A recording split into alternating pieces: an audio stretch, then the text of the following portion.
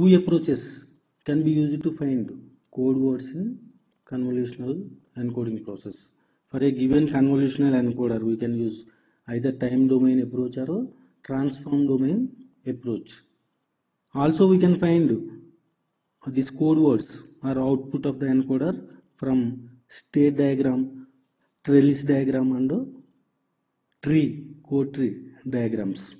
So in time domain approach how we carry out this we have uh, this statement basic conceptual statement. Convolution in time domain is uh, same as multiplication in frequency domain. So here we use convolution in time domain. The encoder output is obtained by the convolution of the input sequence and impulse response of the encoder. That is why you call this coding process as convolutional coding suppose let us consider 212 convolutional encoder. It has two outputs and uh, the first generator function. So this first generator function is uh, connected to first stage all the st- stages of the encoder. So this will be 1 this will be 1 this will be 1 the coefficients are tap gains. So this will be 1 1 1 so second one this is 1 this is 0 this is 1 the second generator is connected to uh, only first stage and the second stage of the uh, the last stage of the encoder. So here g1 and g2 here g1 and g2 they are known as generator sequences of the convolutional encoder.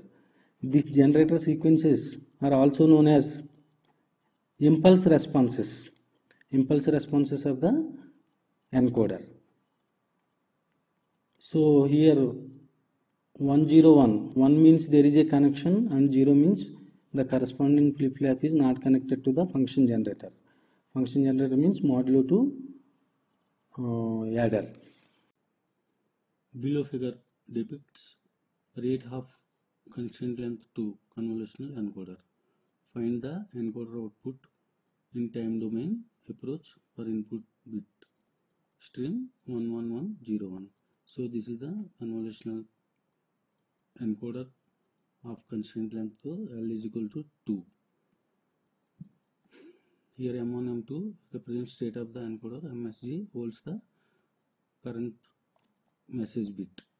So here convolution in time domain suppose you input sequence uh, we convolve we apply the convolution of input sequence with the generator sequence so he, here it is the g1 g1 is the generator sequence or impulse response of the output 1 and uh, g of 2 will be the generator sequence or uh, impulse response of output 2 we apply convolution of input to sequence with the impulse response.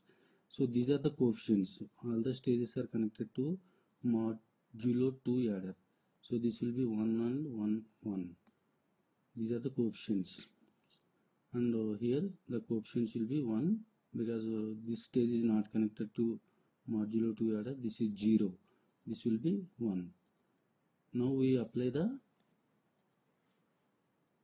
uh, convolution in time domain to find the output of the encoder. Initially uh, the shift register will be in all 0 state. Msg m1 m2 will be 0 0 state.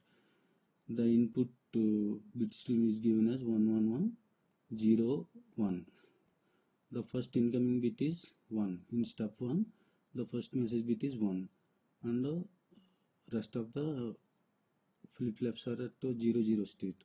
After applying your first two clock pulse this 1 will be shifted here and this 0 will be shifted here this 0 will be shifted here and this 0 will be discarded so the state of the shift register will become 1000 so we apply basic rules of uh, mod 2 addition.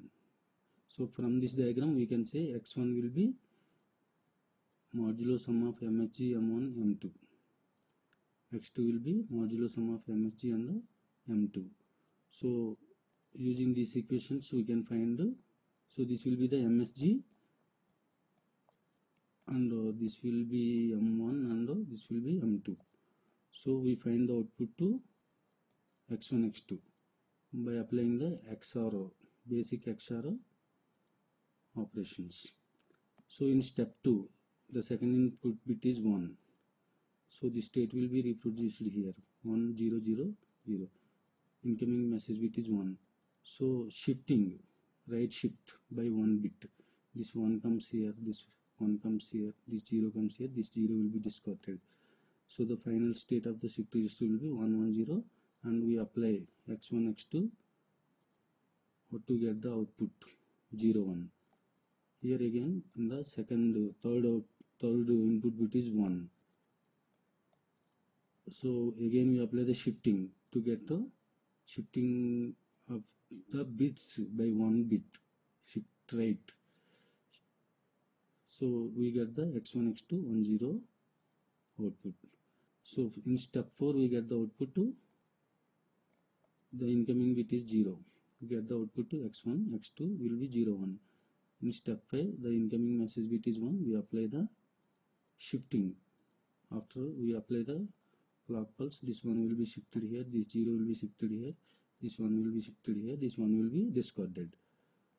So we will get the state of the shift register uh, sorry the contents of the shift register will be 101 so the output will be x1 x2 10 so finally encoded output or code word will be given here If you want PDF files of my video lectures, please visit www.engineerstutor.com. For PDF link, see description of the video.